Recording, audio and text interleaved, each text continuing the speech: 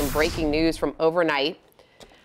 A 15 year old is fighting for their life after being shot in southwest Miami Dade. Police now searching for those shooters. Local 10's Annalise Garcia live this morning outside the hospital where that teen is being treated. Annalise. Good morning. So this teen is still recovering here at HCA Florida Kendall Hospital. He was airlifted here. Let's take you to video of the moments that our cameras were rolling when this happened. You can see the helicopter arriving here to the hospital. At last check, he was in surgery. Now the scene is no longer active this morning, but officers do tell us that this happened in the area of Southwest 283rd Street and 128th Court. Crime scene tape is seen around a dark red Honda CRV here.